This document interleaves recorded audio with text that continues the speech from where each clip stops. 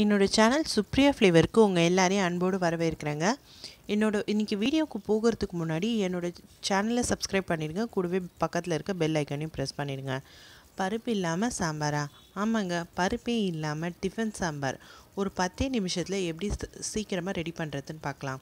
ஒரு medium size வெங்காயம் ரெண்டு பச்சை மிளகா ஒரு பெரிய தக்காளி கருவேப்பிலை ஒரு டேபிள் ஸ்பூன் அளவுக்கு சாம்பார் மிளகாய்த்தூள் பெருங்காயம் மஞ்சள்தூள் அப்புறம் ரெண்டு டேபிள் ஸ்பூன் அளவுக்கு கடலை மாவு எடுத்திருக்கேன். ஒரு வானலியில் கொஞ்சமாக எண்ணெய் விட்டு கடுகு சீரகத்தை புரிய விட்டுக்கிறேன். கருவேப்பிலை அப்புறம் பச்சை மிளகாகளை அதில் போட்டு வதக்கிறேன். இப்போ வெங்காயத்தையும் போட்டு வதக்குறேங்க. வெங்காயம் சீக்கிரமாக வதங்கணுன்றதுக்காக இந்த சாம்பாருக்கு தேவையான மொத்த உப்பையும் அதிலே போட்டு வதக்குறேன்.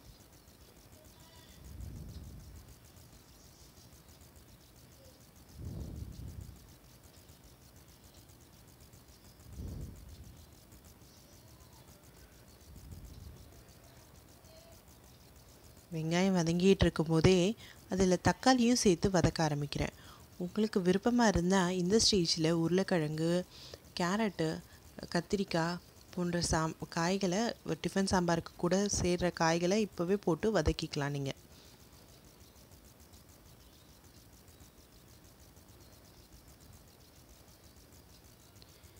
இந்த மிக்சரை ஒரு மூடி போட்டு டூ மினிட்ஸ்க்கு கம்மியாக வந்து வதங்க விட போகிறேன் அடுப்பை ஸ்லோவாக்கி.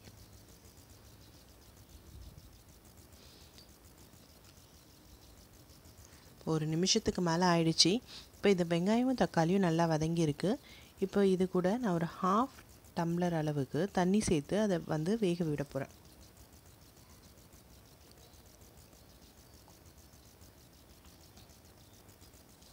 இது நல்லா ஒரு நிமிஷம் கொதிக்க விடுறதுக்காக நான் திருப்பியும் தட்டு போட்டு மூடி வைக்கிறேங்க.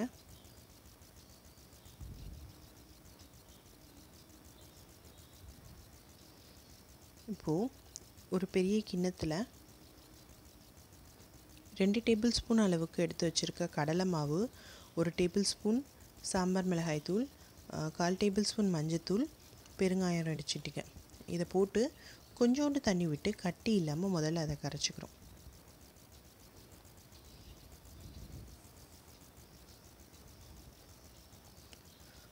கொஞ்சமும் கட்டி இல்லாமல் நல்லா கரைச்சிக்கோங்க. சப்போஸ் உங்ககிட்ட கடலை மாவு வீட்டில் இல்லை இந்த சாம்பார் இன்ஸ்டண்ட்டாக பண்ணணுன்னா கண்டிப்பாக உடச்ச கடலை எல்லார் வீட்லேயும் இருக்குங்க. அந்த உடச்ச கடலையை பொடி பண்ணி கூட இந்த சாம்பார் வந்து நம்ம செஞ்சுக்கலாம். இப்போது கடலை மாவுல செய்கிறதுனால சாம்பார் கன்சிஸ்டன்சியோட கொஞ்சம் தண்ணி அதிகமாக ஊற்றி தான் இந்த மிக்சரை கலந்துக்கணும்.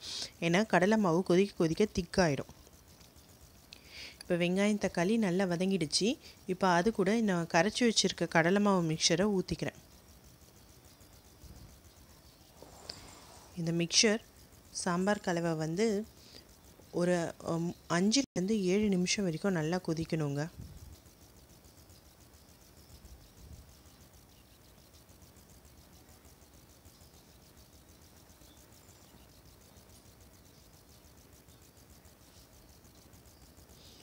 ஒரு கொதி வரும்போதே நான் கொத்தமல்லி தழைகளை நறுக்கி போட்டுட்டேன். இது கூடவே இருந்து பக்கத்துலேயே இருந்து கிளறி விட்டுக்கிட்டே இருங்க. இது ஹை ஃப்ளேமில் வச்சுட்டு இடையே போனால் இது பொங்கி வழியறதுக்கான சான்ஸ் அதிகமாக இருக்கும். அவ்வளோதாங்க இன்ஸ்டண்ட்டான டிஃபன் சாம்பார் ரெடி நீங்களும் இதை ட்ரை பண்ணி பார்த்துட்டு உங்களோட ஃபீட்பேக் என்னன்றதை என் கூட பகிர்ந்துக்கோங்க. மீண்டும் இன்னொரு ஹெல்த்தியான வீடியோவோட உங்களை சந்திக்கிறேன். அது வரைக்கும் bye from Supriya thanks for வாட்சிங்